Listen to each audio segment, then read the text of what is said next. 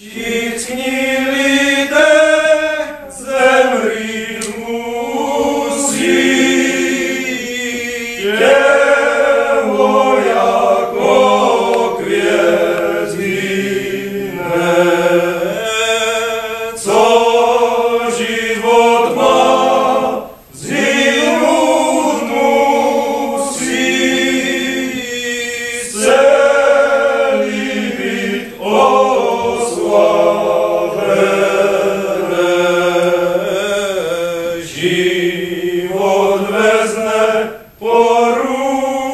Amen.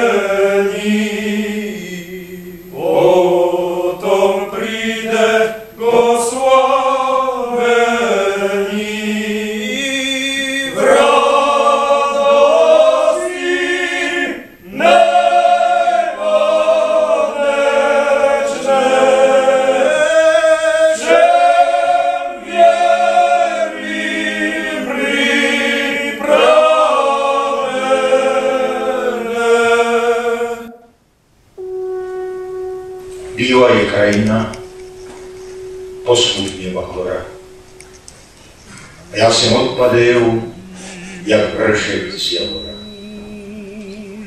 Jak pršek z javora dopadl do hory, tak od vás odcházám, kamarádi moji.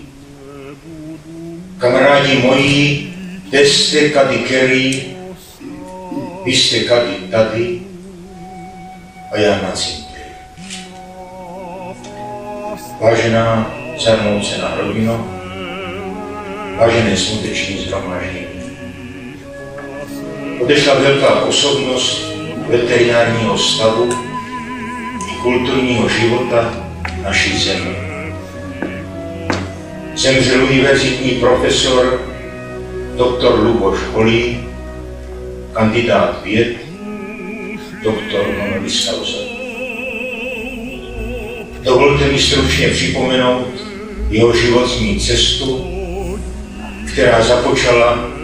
21. října roku 1930, když se narodil v této malé horňácké obci Hrubé Vrbce, v rodině proslavené zpěvností, v dědině známých muzik, Yorku a Joženy Kubíka. Deseti letech, když zpíval s bratrem Dušanem v Plickově filmu Věčná píseň, určitě nevěděl, kolik toho ještě naspívá, kam to až dotáhne, kam ho život zanese. Přání moce Martina bylo, aby studoval konzervatoř, potom Janáčkovou akademii muzických. Mladý Luboš chtěl být naopak kovářem. Vyřešil to po svém. Když nemůžu být kovárem, budu zvěrolékarem. A stalo se. Po studiu na Strážnickém gymnáziu absolvoval veterinární fakultu v Brně v roce 1954 a začal zde působit na katedře reprodukce hospodářských zvířat. Kandidátem věd se stal v roce 1964 docentem o 11 let později a titul univerzitního profesora získal roku 1987. To měl za sebou bohatou vědeckou dráhu jak u nás, tak v zahraničí. Deset let působil v zemích Latinské Ameriky. Nejvíce let působil na Kubě, Mexiku a Brazílii. Všude jako expert budoval katedry své specializace. Píseň ho provázela celý jeho život.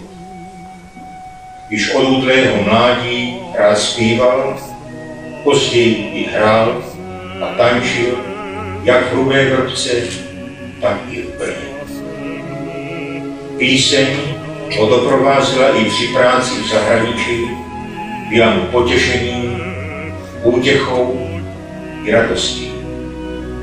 Když se pak vracel domů ze svých cest, Nezapomínají na Nabrol, muziku Břeclavanu, horňácké slavnosti, horňáckou cymbálovou muziku Martina Hrbáče, ostravský technika Janka Rokitu, Bratislavu Míro Dudíka a jiné.